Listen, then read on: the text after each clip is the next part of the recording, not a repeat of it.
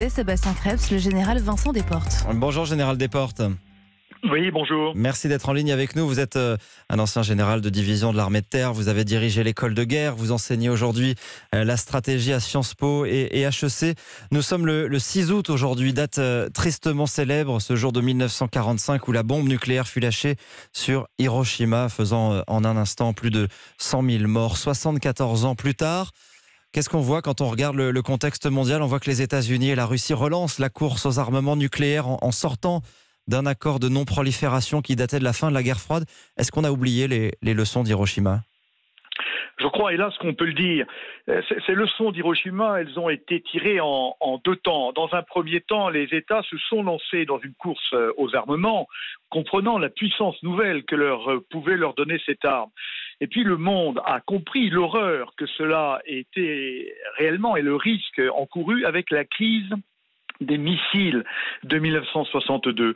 Et à partir de cette crise où le monde a compris qu'il pouvait être détruit par cette horreur nucléaire, on a vu une série de d'accords de, désarmement, les, accords SALT, les accords d'Istart 20 ans après, le TNP, le traité de non-prolifération nucléaire, et puis, et puis, ces accords étaient bien liés à l'ancienne organisation du monde qui reposait sur la bipolarité. Mhm. Et c'était bien l'URSS et les USA qui étaient à la base de ces accords. Ce monde a explosé, on le sait.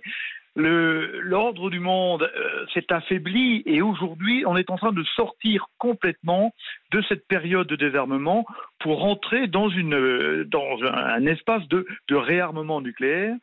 Et la récente sortie, vous l'avez signalé, des États-Unis du dernier traité de limitation des armes de portée moyenne qui faisait suite à la crise des euromissiles dans les années 80, eh bien, montre bien que désormais les grandes puissances sont reparties vers un réarmement nucléaire qui est extrêmement dangereux pour la paix du monde. Qui en est le, le responsable? C'est Donald Trump C'est Vladimir Poutine?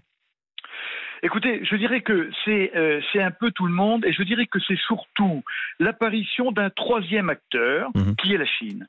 Et, euh, j'ai dit tout à l'heure que ces accords avaient été, c'était des accords non pas bilatéraux mais presque bilatéraux entre l'URSS et euh, les États-Unis. Et, et, donc la Chine n'est pas partie de ces, de ces accords ou très peu partie.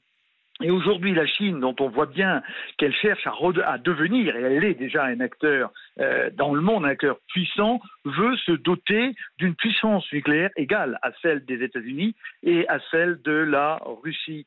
Et donc elle rentre là-dedans, mais elle n'est pas liée par les traités. Et euh, tant la Chine, tant le, RSS, tant pardon la Russie que les États-Unis se disent, eh bien nous, on doit euh, pouvoir à nouveau trouver des moyens de continuer à faire jeu égal et à ne pas se retrouver distancés.